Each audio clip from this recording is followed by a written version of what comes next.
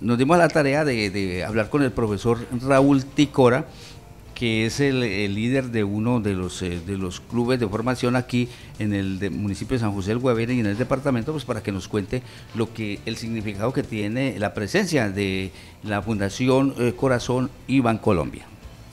Eh, muy buenas para todos y todas. No, contento, muy agradecido primero con Dios, con Bancolombia, con Fútbol con Corazón quienes fueron los que nos contactaron aquí en Guaviare, porque pues hacemos parte de un proyecto que se llama CAPI Emprende y lo que queremos es generar espacio de diversión, ¿sí? de recreación a los niños y niñas del departamento del Guaviare.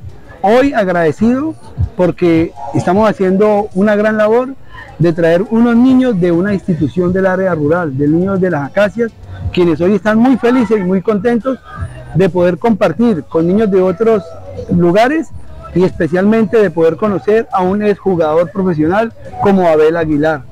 Profesor Ticora, para usted como formador de fútbol, ¿qué es lo más importante que, queda de este proceso? No, lo más importante de este proceso, lo del fútbol formativo, es eh, los valores, los valores que debemos aplicar con el fútbol. Valores como la honestidad, la solidaridad, el respeto, el orgullo, que son muy importantes.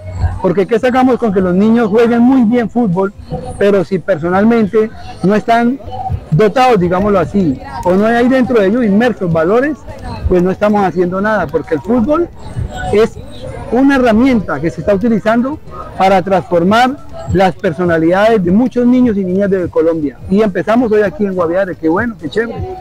Finalmente, profesor Raúl, ¿cuál es el mensaje que usted tiene para los padres de familia y para los mismos chicos deportistas? No, pues eh, invitarlos a que cuando vengan estos eventos participemos activamente, no pensando en de pronto qué nos van a dar, sino pensar en el mensaje que nos traen. Bancolombia con fútbol con corazón, con estos campamentos deportivos, nos trae un mensaje muy claro y es la puesta en práctica de los valores. Porque un niño una niña sin valores sociales, pues probablemente puede triunfar en la vida, pero no de una manera más acertada, más, eh, más dinámica, digámoslo así.